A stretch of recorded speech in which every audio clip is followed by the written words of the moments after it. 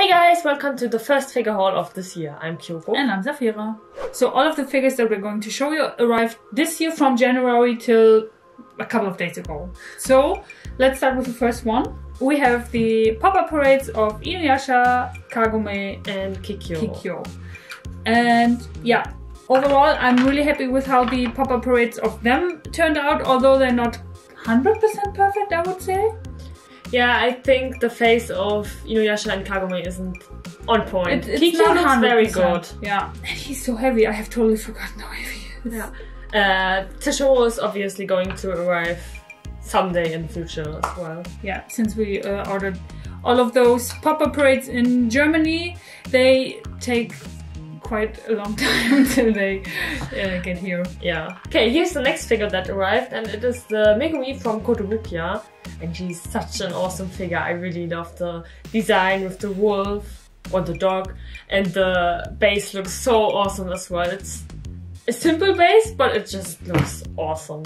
I love the color. The the, colors are totally my, Awesome. my color scheme.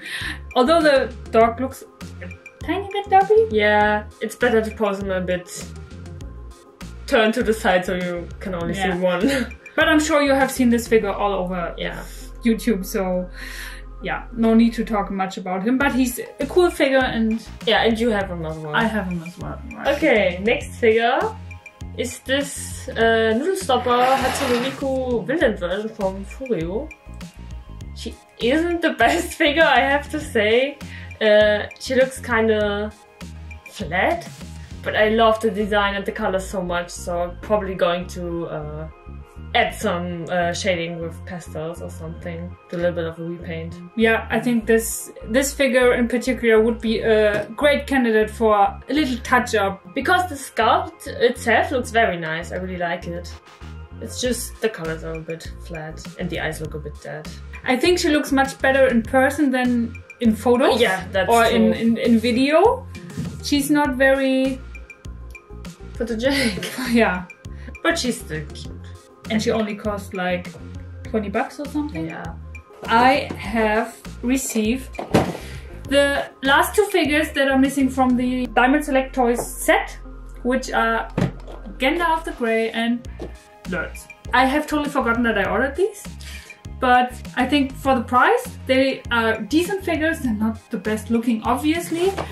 Especially Gandalf looks kind of weird, and there I have had a couple of issues with my other figures as well, where they included some accessories which you can't really use. they are just They're useless. totally useless. But I think for the price, they are very decent figures, and I have to say, a couple of those figures look even better than Some of the higher. higher price figures. I don't know. I think they will look good in my collection, and that's that. last two figures. There are my holiest of holiest grails.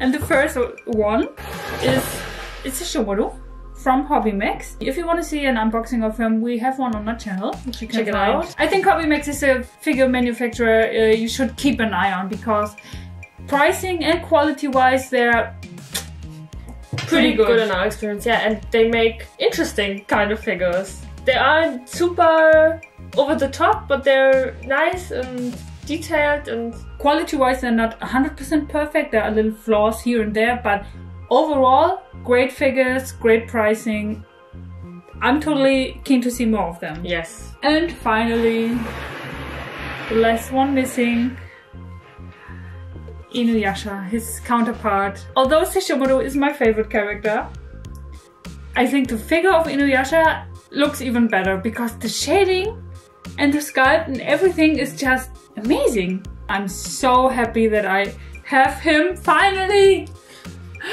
and I can't wait to put these two up in my Inuyasha shrine and yeah, They have them the centerpiece of my, if not the whole collection, maybe. So these are all of the figures from this haul. Which one was your favorite? Let us know in the comments and see you in the next video. Bye! Bye bye.